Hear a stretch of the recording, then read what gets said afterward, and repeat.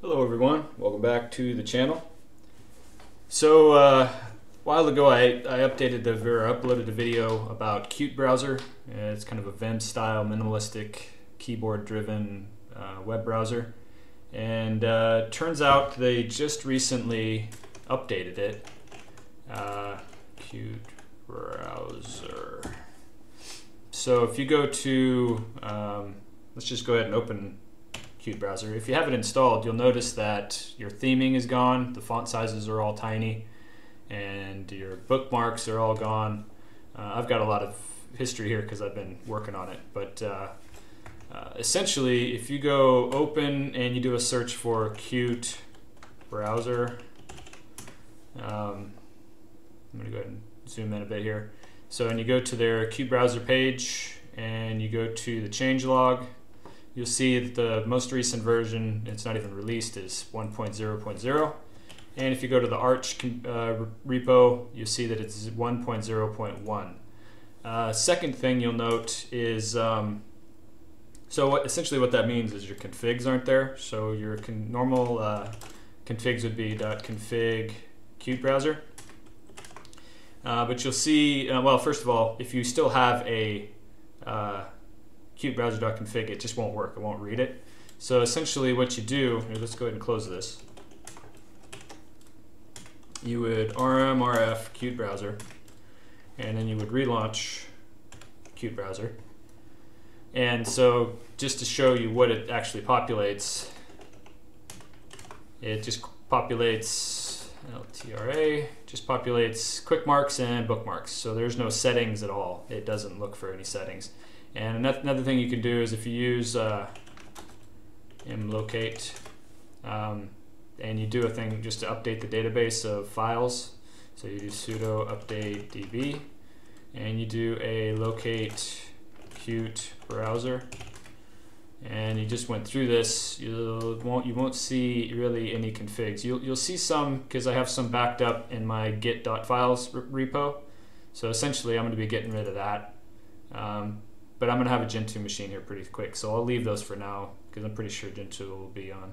Uh, we'll still use the 1.0.0. And if it doesn't, I can decide to if I want to.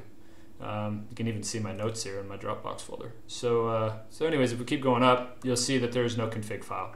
So uh, anyways, again, all you have are these two options. So the first thing you want to do is um, you, you just type in and it's going to be really hard to see. I apologize, but if you look down here in the bottom left corner real carefully, it's it's set, and that's all. So colon set enter, and what we have now is a is a HTML uh, interface for qutebrowser.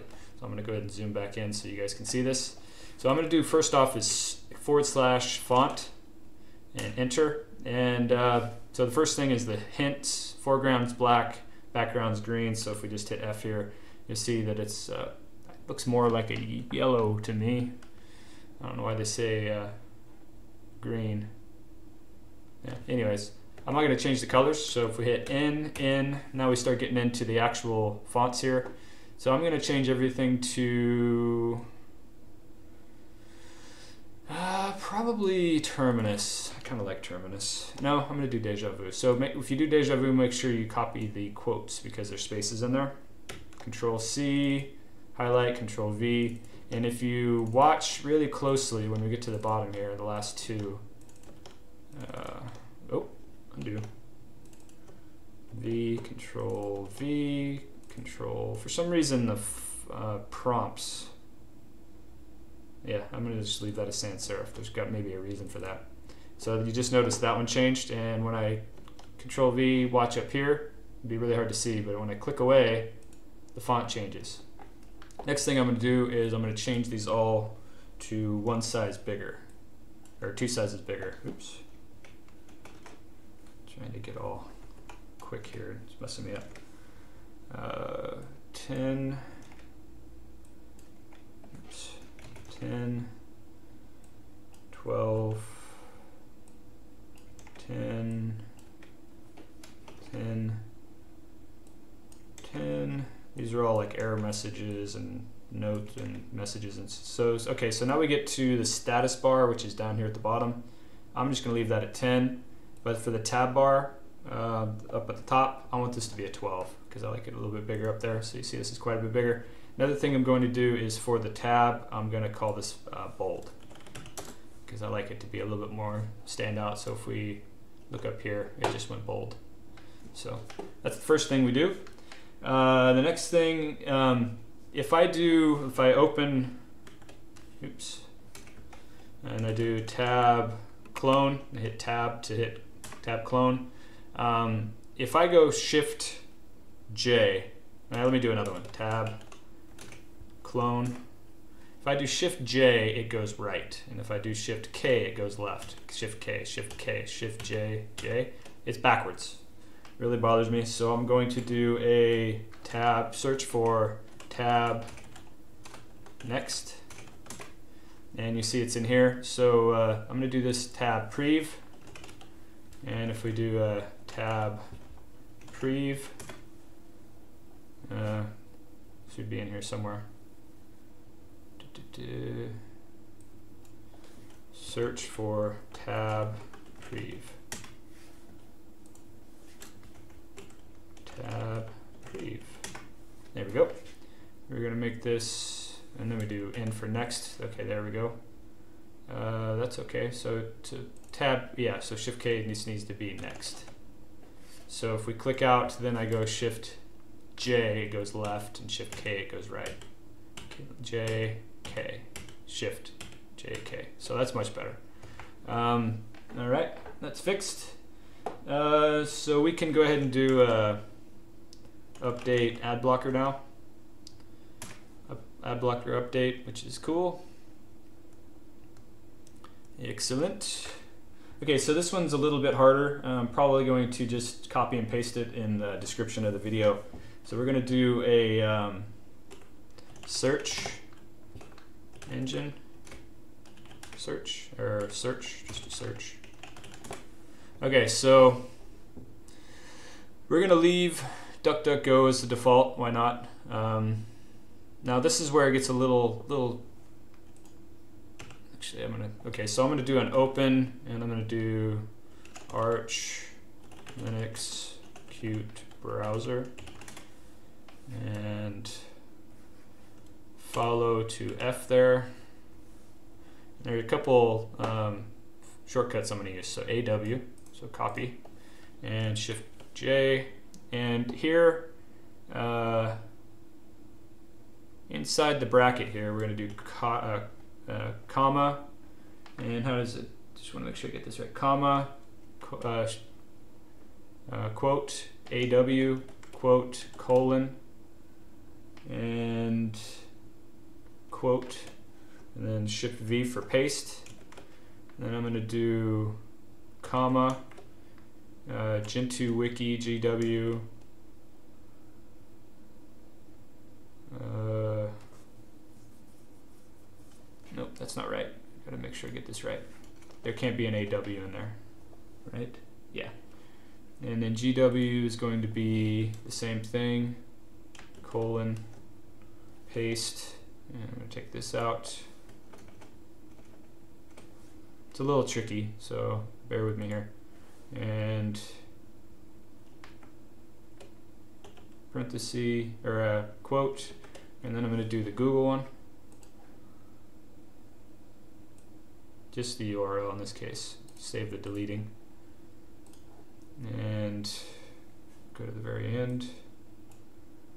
And it's going to be G quote colon quote paste quote. And hopefully we don't get an error. And we did get an error. Okay, so I screwed something up here. Uh,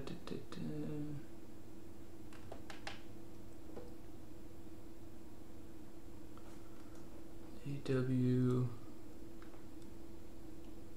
code HTTPS. Oh, GW quote or uh, GW colon G. Oops. And hopefully, yeah, that still gives an error. You know what? I'm just going to do it this way. So I'm going to go uh, Kate, uh, let's do this. home, Kate, Dropbox, Tux, uh, qutebrowser. And just copy all this.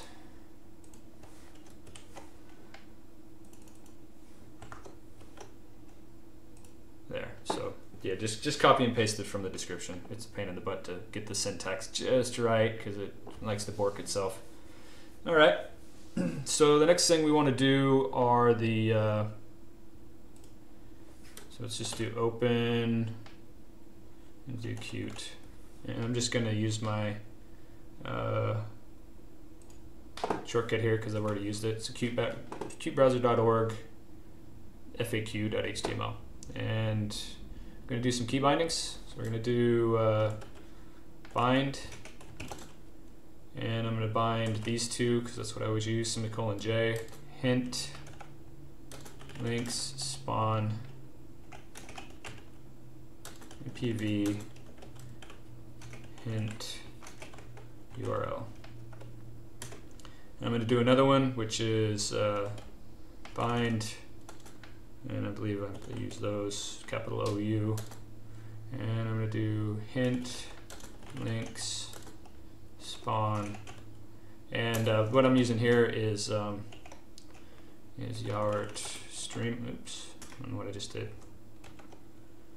Yart stream link uh, come on that's why I use shortcut yeah, okay, so Streamlink is kind of like what YouTube or a live streamer used to be. So we're going to do uh, spawn uh, Streamlink.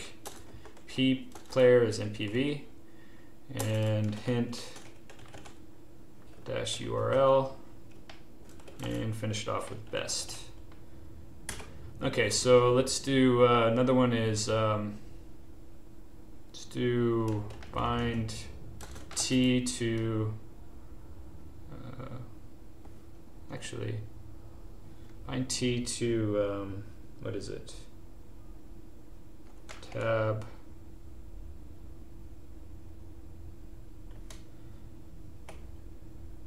Let's see so it's a tab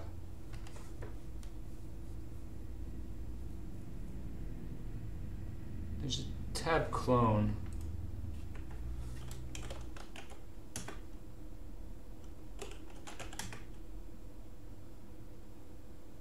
I can't remember where I found it. So anyways, we'll just do uh, bind t to tab clone. That's good enough. So let's just go ahead and do hit T so we get a new tab. It, I wanted to do a, uh, wonder,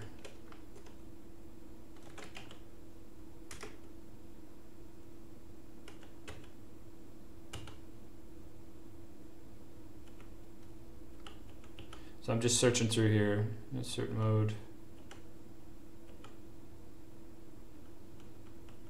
Uh, last, new position, heading. There was a, something about changing your, oh yeah, tab T, yeah, open T, dash T. Okay, so unbind T, and then I'm gonna go bind T to open T. So if I just do T, now it brings up the DuckDuckGo, which is, uh, so if we look at where we just were, right here, use DRL. So when this open T is used, it's going to go to DuckDuckGo. So you can change that if you want. And if you want to change your URL, URL start, um, you can do it here. So this is where when you open a new one, and this can be your home page, which would be, I don't know, GitHub.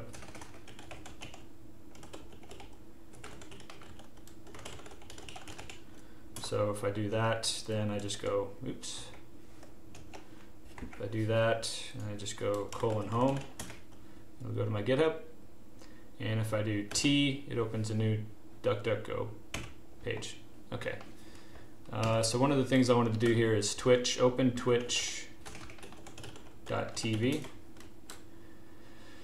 forward to GH at the top left to browse, forward to GD for Battlegrounds, Okay, I can do uh, semicolon J and use MPV directly.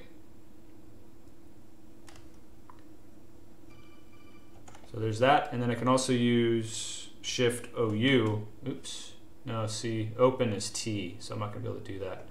Um, so I need to find a different bi uh, binding for Shift OU for the uh, for the.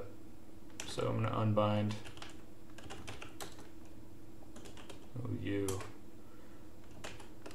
Yeah, Open T is uh, is a new tab. So let's go back to. Uh, let's see. What do I want to use? Unbind, make sure it's unbound. Okay. Let's do uh, bind.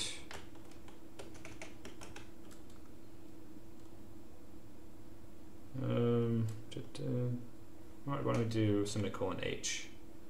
And we'll do hint links spawn Streamlink p and pv hint URL best.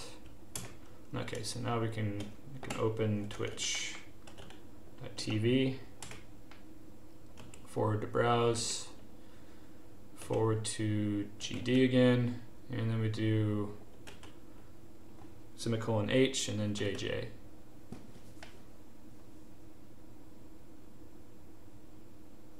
There, so that works as well.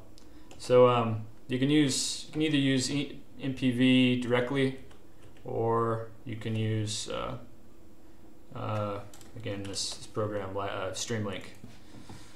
I think that's about it. Um, let me know if you have any questions, and I'll talk to you later.